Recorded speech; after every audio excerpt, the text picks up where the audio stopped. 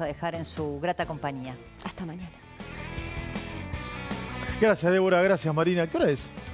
¿Qué hora es? ¿Las cuatro? ¿Cuatro y un minuto? Che, la mayoría de los que ¿Cuatro? Sí, ah, cuatro en punto, cuatro en punto. Che, eh, a la mayoría de los kirchneristas se les cortó eh, el, el proveedor de internet, ¿no tienen internet? Me parece que se les cortó o no. ¿Cómo, cómo se llama la empresa? Una empieza con F, no, hay dos que empiezan con F, otra con C. ¿No tiene más internet? Porque ninguno tuitea nada, nadie dice nada del Perovich. No hay ningún kirchnerista tuiteando ni diciendo nada del Perovich. Che, 16 años de prisión lo condenaron a este hombre. 16. Nadie va a decir nada. Che, con respeto. Cristina, ¿no vas a decir nada? Por muchísimo menos, muchísimo menos le dijiste de todo a Macri. ¿Te acordás, Machirulo? Le dijiste. Por Alperovich, tu socio político, tu amigo, tu amigo, socio político, compartiste la boleta, lo cobijaste, lo abrazaste hasta el final, casi que lo acompañaste hasta la puerta de la celda, porque pasó la noche a la sombra, en un hospital en realidad, pero dentro del penal de la unidad penitenciaria de, de Seiza. ¿No vas a decir nada? El kirchnerismo no va a decir nada de Alperovich. Solamente lo escuché al gobernador de Tucumán solidarizarse con la víctima. ¿No van a decir nada? Cristina, ¿no vas a decir nada de Alperovich? La condena de Alperovich abre un antes y un después en Argentina, en este nuevo, nuevo ciclo, nueva era, nueva etapa. Estos vientos de cambio que soplan en nuestro país. Son tan fuertes los vientos de cambio que soplan que hasta un juez, que muchos kirchneristas consideraban como propio, hablo de Ramos Padilla, más kirchnerista que Cristina, demostró ser un hombre de la República, demostró ser un hombre de la justicia y obró conforme a derecho. Le dio 16 años de prisión de cumplimiento efectivo a este hombre. Tres veces gobernador de Tucumán, tres veces. Más que gobernador de Tucumán, el dueño de Tucumán, el zar de Tucumán. Así le dicen aún hoy, el zar de Tucumán. Tres veces gobernador. Senador por aquella provincia. El Senado, cómplice, calladito y silencioso, nunca lo echó al violador de Alperovich. Violador, ¿por qué? Porque así entendió la justicia. Dio por probado de mínima seis de nueve casos de este monstruo contra su sobrina segunda y secretaria. Sí, sí. La violó de mínima seis veces. ¿Sabe cuándo se va a cumplir la condena de este hombre? En, dentro de 16 años, ¿sí? En 2040 sale. Con suerte. Con suerte. ¿Es un abusador Alperovich? Claro que sí. Y si no, recuerden esto. ¿Cómo le va, senador? Gracias por la visita. ¿Cómo ¿eh? andan? ¿Cómo Un gusto está? tenerlo Bienvenido. nuevamente por aquí. Hermoso, muy lindo el lugar. ¿Cómo Esta está? chica que Ah. me encanta. Es el perfil que a mí me gusta. ¿Ah, sí? Bueno. Si quiero cambiar Tucumán, esos dirigentes no pueden trabajar más en el Estado. Mm. Mira lo que te estoy diciendo. No, junto voto con esto, no. No, porque si no, no voy a cambiar Tucumán. Y se lo digo hoy, con la cámara, te lo digo a vos mirando a los ojos, a vos. Es otra cosa. Si no, no, no quiero asumir. ¿Sabes qué? Me voy a pasear más Mm. Claro. tiempo, me voy a Miami con, mi, con mis nietos. Mm. O la puedo mirar más tranquila esta preciosura.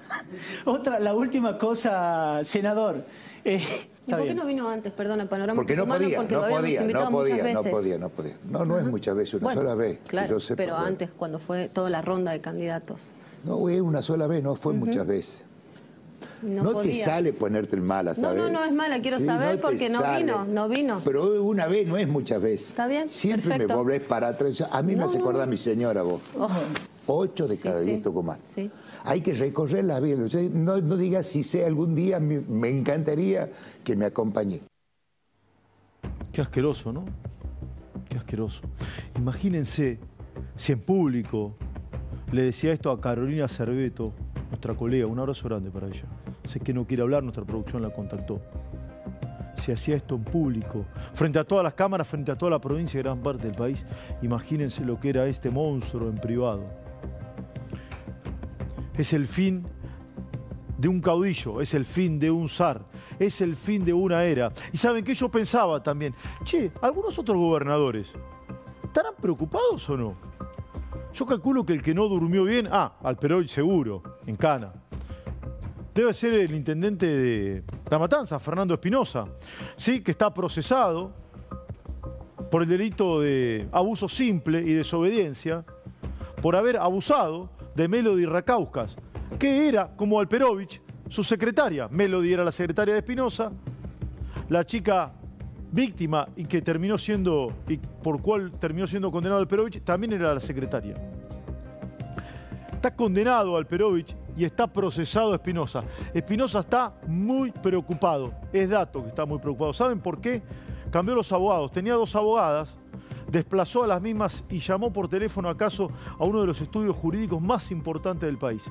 El que encabeza el ex ministro de Seguridad, León Carlos Arlañán. Sí, el presidente de la Cámara Federal que juzgó y condenó a la Junta Militares. Un prohombre del derecho y de la democracia. Hay que defender a Espinosa, ¿no? Todo su derecho, por supuesto. Es legal y legítimo. Pero hay que defender a Espinosa. Espinosa no debe haber dormido bien, porque debe haber pensado, che, si uno de los nuestros lo condenó al Perovich, porque probablemente mucha de esta gente considere al, doctor Ramos Padilla. ¿m? Abrazo enorme, doctor. Un abrazo enorme. Un abrazo enorme. Si lo critiqué, le pido disculpas. Habrán considerado, uno de los nuestros lo condena, ¿qué va a pasar entonces conmigo que el juez no es kirchnerista? ¿Qué va a pasar conmigo? Y probablemente Espinosa, probablemente, si Dios quiere, corra la misma suerte de, Alperovich. Insisto, Cristina Fernández de Kirchner calladita. Cecilia Moró, tan preocupada por el machismo en la Cámara de Diputados, en la Cámara de Diputados, calladita. La senadora Juliana de Tulio, compañera de, de Alperovich, siempre preocupada por los temas de la violencia de género, calladita. La intendenta de, de Quilmes, Mayra Mendoza, siempre preocupada por estos temas, calladita. Calladita, calladita. La diputada, Natalia Saracho, que tuvo un entredicho con Lilia Lemoyne el otro día, calladita también. Ah, Lemoyne viene en un ratito, en un ratito nada más.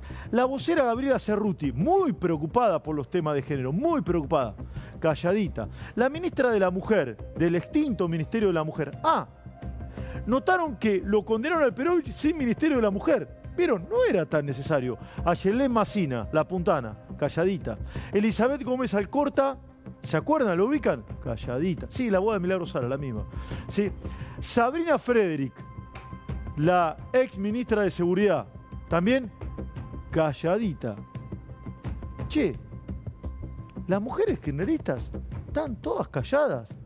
O todas piensan como pensaba Beatriz Rosqués de Alperovich, íntima de Cristina, vicepresidenta provisional del Senado durante un momento, fíjense lo que decía.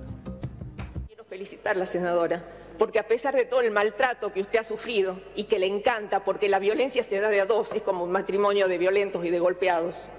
La violencia se da de a dos. Porque a pesar de todo el maltrato que usted ha sufrido y que le encanta, porque la violencia se da de a dos, es como un matrimonio de violentos y de golpeados. La violencia se da de a dos. Bueno, esta senadora no leyó, no leyó el código, no leyó el código penal, sí, y es un verdadero asalto al sentido común. Esta es la esposa del Perovich. Yo no quiero decir que es, víctima del Perovich. Esta es la mujer del Perovich, fue vicepresidenta provisional del Senado. Así piensa esta mujer, o así pensaba. Y probablemente Cristina piense lo mismo. Noten que Alperovich fue un hombre tan importante en Tucumán, caído en desgracia, ahora que va a tener que purgar esta condena de cumplimiento efectivo y que recién en abril del año próximo va a poder pedir la libertad domiciliaria. Que el hoy gobernador de Tucumán, el hoy gobernador de Tucumán, cuando juraba como diputado en aquella provincia, ¿saben lo que decían? ¿Lo tenés por ahí, chiquito? Míralo. ¿Sí? Mirá lo que decía, ah, que es el único que se solidarizó con la víctima de todos los kirchneristas, el, go el, gobernador de, el gobernador de Tucumán. Pero en el archivo, cuando juraba como diputado, encontramos esto, mirá. Silencio, por favor. Señor diputado nacional electo por el distrito de Tucumán, juráis por Dios, por la patria y por estos santos evangelios desempeñar fielmente el cargo de diputado y obrar en todo de conformidad con lo que prescribe la Constitución Nacional.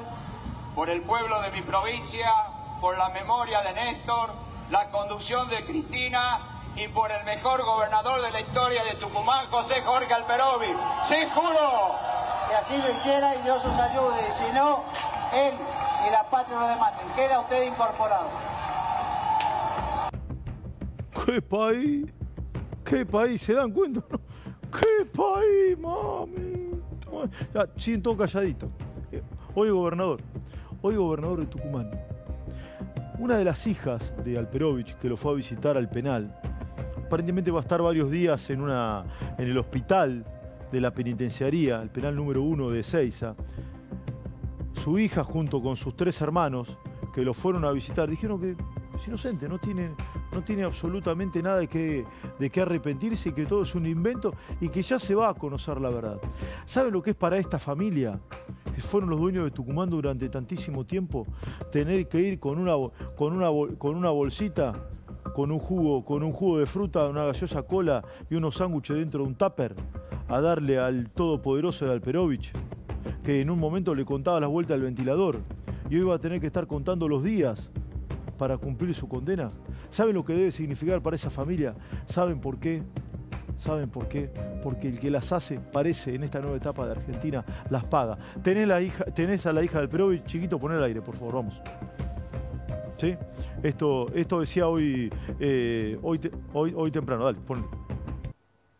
La verdad que sorprendida de, de la sentencia, no esperábamos que, que bueno, 16 años como pidió la Fiscalía y que ahora vaya preso, la verdad que, estamos muy conformes y la verdad que, el juez Ramón Padilla ha dado un ejemplo de justicia para este tipo de casos, creo que siente un precedente súper importante, así que nada, agradecerle a toda la prensa de que ha estado siguiendo y, bueno, no está ahí en comunicación eh, y bueno, nada, está la verdad que también muy emocionada de este momento. Eh, bueno, para nadie es lindo eh, pasar, digamos, por estas situaciones, así que haber llegado hasta esta instancia... ¿Está satisfecha con esa condena? Sí, sí, está satisfecha, solamente de que el juez haya encontrado la verdad en sus palabras, para ella es suficiente y es lo que busca desde el momento uno que hizo su carta pública y que se afrontó a todo este proceso.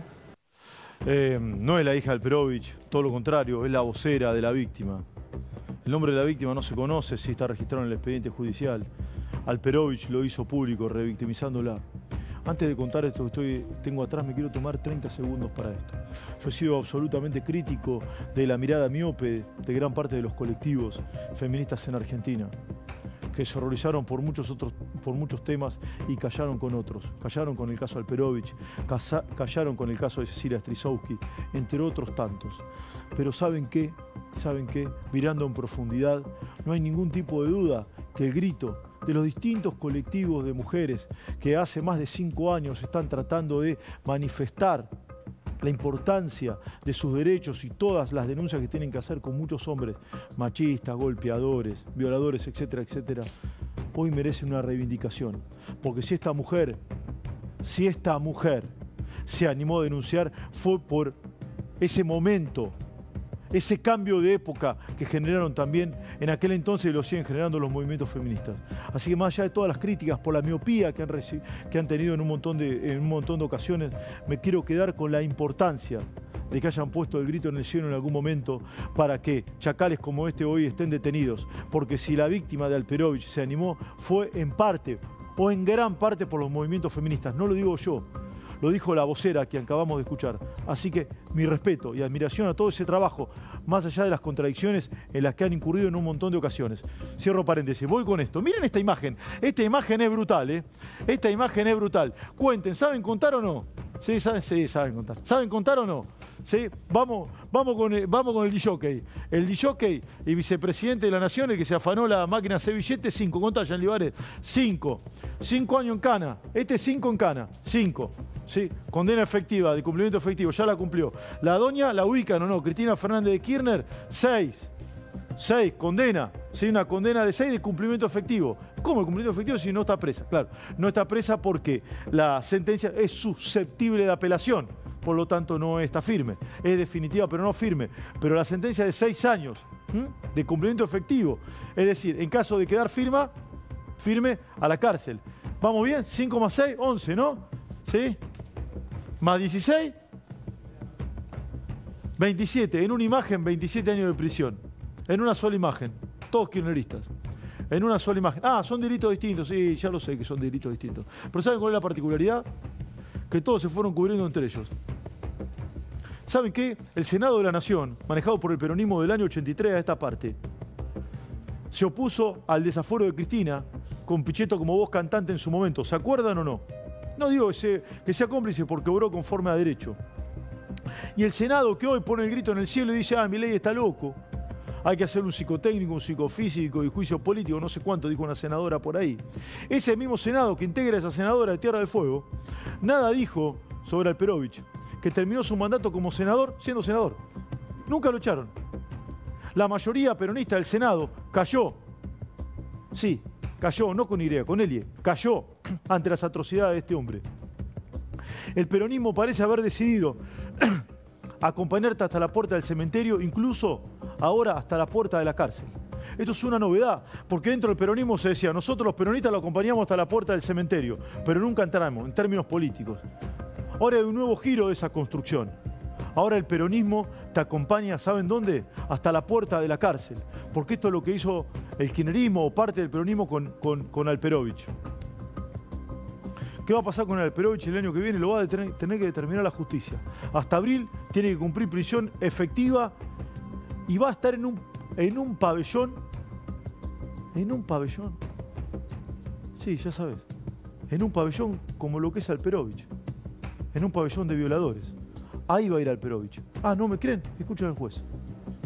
Condena a José Jorge Alperovich a la pena de 16 años de prisión, accesorias legales y costas. Decretar, dos, la inhabilitación especial perpetua para ejercer cargos públicos en el ámbito nacional, provincial y municipal. Disponer en este acto la detención de José Jorge Alperovich y su inmediato traslado a una unidad carcelaria del Servicio Penitenciario Federal. Tal sentido, hacer saber a su director que deberá dar estricto cumplimiento con esta obra. Convertir la detención de, Jorge, de José Jorge Alperovich en prisión preventiva. No solamente se cae un símbolo, sino que se comienza a caer una época. Se desgrana una época. Así como un castillo de naipes o un castillo en la arena comienza a derrumbarse de a poquito.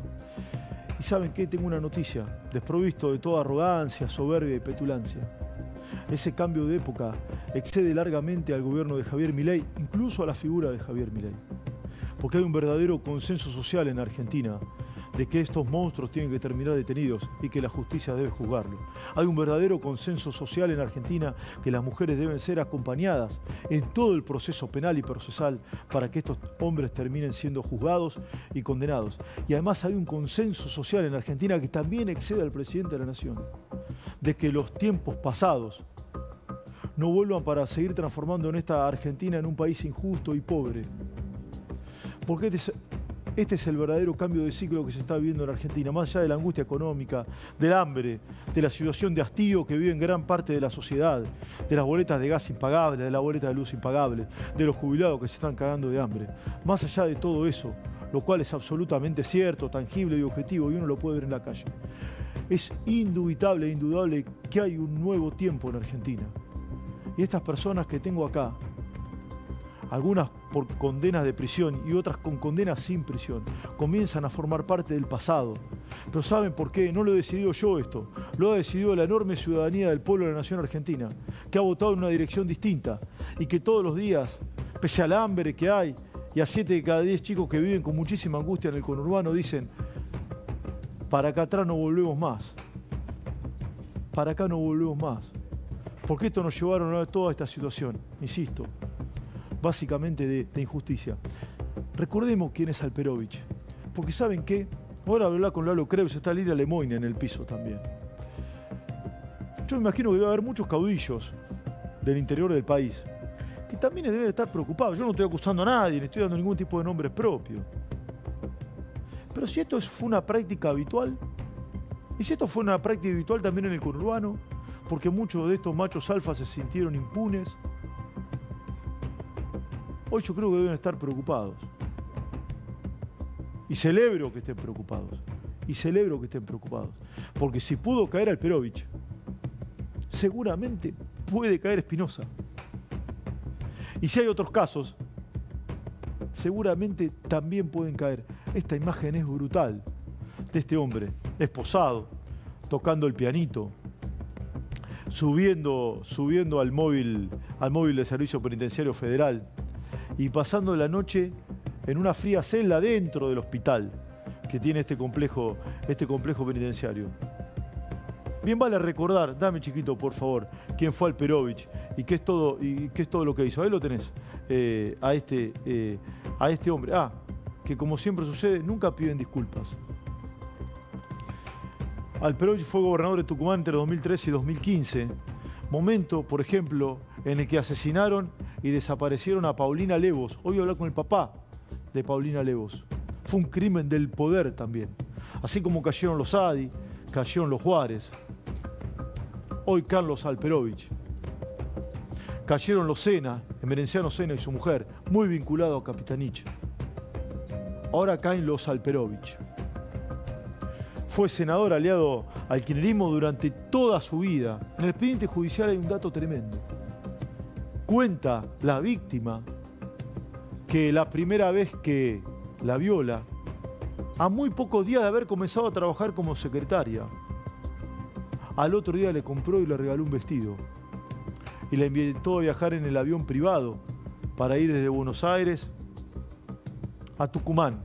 Y que al otro día le invitó de Tucumán para pasar la noche en un lugar de Puerto Madero. Todo muy Nacan Pop. Todo combatiendo al capital. ¿Sí? Puerto Madero, el regalo, el avión privado. Esto no está claro. ¿Cuántas propiedades tiene Alperovich? Pero se cree que tiene 75 inmuebles. Hoy hay una denuncia en Comodoro Pi por lavado de dinero. Empresa constructora, inmobiliaria, financiera, productora de soja, agropecuaria. De todo. Alperovich es dueño de por lo menos media provincia. Recién lo veíamos hace un ratito nada más, cómo abusaba en vivo, acosaba, acosaba en vivo a una, eh, a una colega. Y ahora por fin fue condenado por abusar a su sobrina, a su segunda sobrina. Todos los compañeros de Alperovich están callados. Todos los, todos los hombres y mujeres que formaron parte del gobierno de Alberto Fernández, de Cristina Fernández de Kirchner, en todos sus mandatos, están absolutamente callados, no dicen nada. No hay lágrimas, porque el quinerismo, como siempre, tiene una indignación selectiva. Jamás llora a las víctimas de los propios. Así son. Pero por suerte, ¿saben qué? Creo, leo, observo que Argentina ha comenzado a transitar una nueva era. Me voy a Corrientes, porque todavía